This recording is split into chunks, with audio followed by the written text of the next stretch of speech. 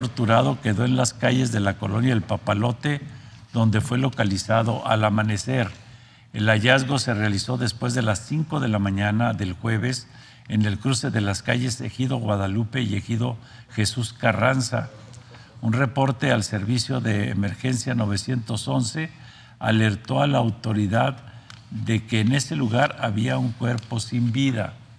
Agentes de la Policía Municipal enviados a ese punto confirmaron el hecho, el hecho y acordonaron la escena del hallazgo.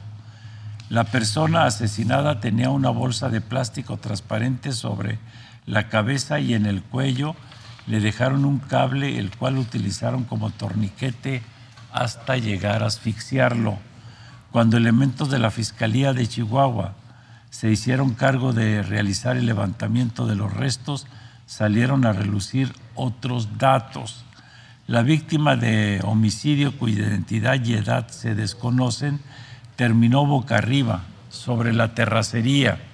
El pantalón eh, que portaba era de mezclilla, tenía hasta los tobillos un cinto de color negro, un calzón boxer de color azul, una camiseta roja deportiva de tirantes de los Chicago Bulls y tenis blancos con negro tipo Adidas Superstar.